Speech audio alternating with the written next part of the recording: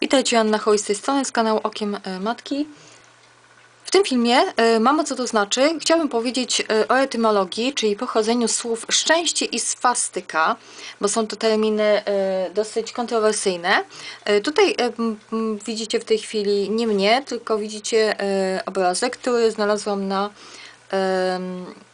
blogu pana Białczyńskiego. To jest bardzo ciekawe. E, Zrobię to w innym filmie.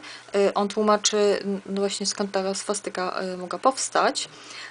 To jest swastyka prawoskrętna i zobaczcie, że to jest po prostu obrót no czego?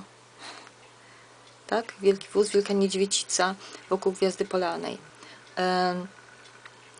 A, uwaga, teraz zmienimy. A tu co mamy?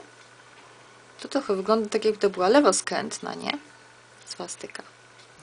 E, Ale to na inny e, czas. Natomiast teraz słuchajcie, e, sporo kontrowersji, jeżeli chodzi o entymologię, czyli skąd powstały te słowa.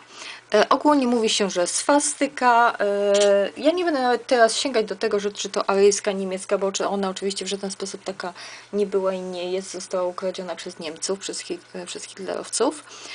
Natomiast mówi się często, że swastyka to jest po prostu znak szczęścia. Więc mamy dwa słowa, swastyka i szczęście.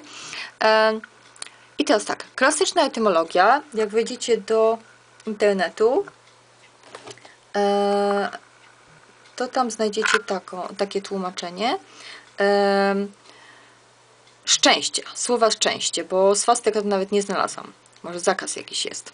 E, Od XIV wieku pochodzi od prasłowiańskiego dialektalnego syciestie, powodzenie, pomyślność, szczęście, będącego złożeniem. I uwaga tutaj, sy, sy i e, znak, mm, nie wiem, wygląda jak e, znak twardy, e, czyli su, e,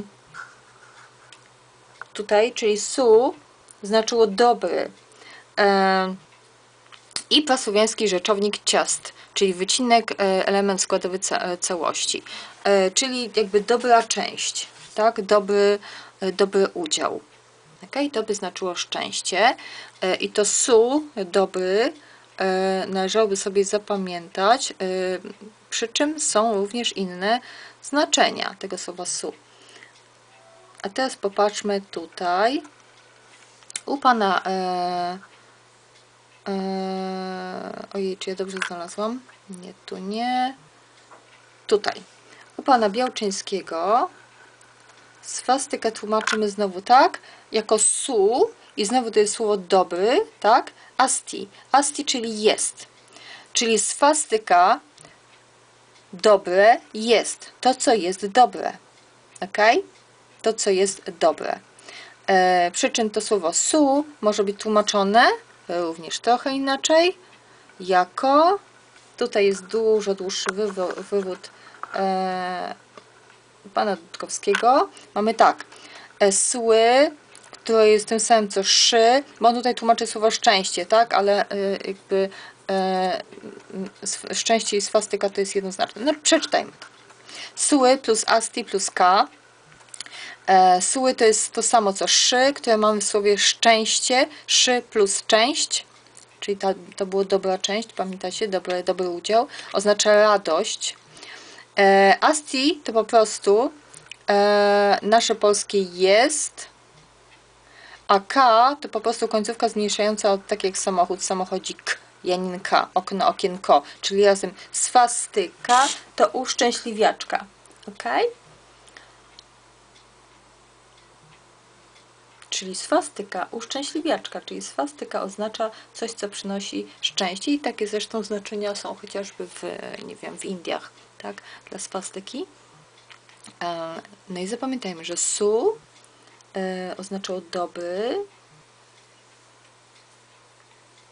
ok, ale właściwie też w tym momencie radosny, tak, bo tak jak szczęście e, mogło oznaczać dobry albo radosny, a asti to było jest. I e, tu właściwie u pana Białczyńskiego jest podobnie. Su asti, czyli dobre jest, szczęśliwe jest, dobre jest, radosne jest w tym sensie, tak?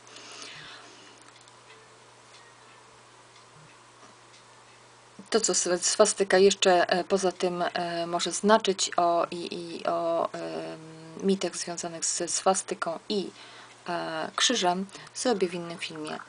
A teraz pozdrawiam